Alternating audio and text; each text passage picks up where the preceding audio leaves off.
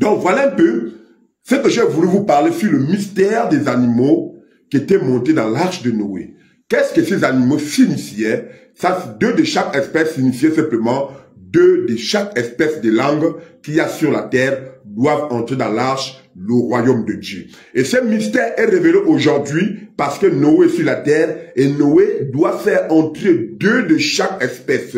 Depuis le commencement de l'histoire de l'Église jusqu'à aujourd'hui, Noé est là. Et la porte de l'arche est ouverte depuis 2016 et selon Apocalypse chapitre 4 verset 1, car après les dates de l'Église, l'Écriture dit, après cela, j'ai vu une porte ouverte. Qu'est-ce que c'est? La porte de l'arche du royaume de Dieu. Et Noé se tient là auprès de la porte.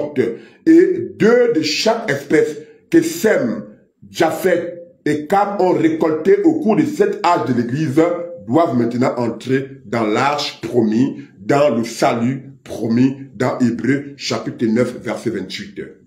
Ce mystère est révélé parce que Noé est là et les animaux, deux de chaque espèce, doivent maintenant entrer dans l'arche.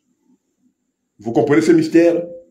Des grands mystères révélés dans la plus haute simplicité. Et ça, c'est l'évidence du message de Dieu aujourd'hui. Donc voilà un peu, c'est ce que j'ai voulu partager avec vous. Je suis encore avec vous. Les jours arrivent où vous ne m'entendrez plus parler. Les jours arrivent, arrivent où vous ne me verrez plus sur les rues. Les jours arrivent où vous ne me verrez plus faire des lives. Les jours arrivent où vous ne me verrez plus. Profitez pendant que vous me voyez. Car bientôt, je quitterai la scène et les miens prennent le contrôle, prendront totalement le contrôle.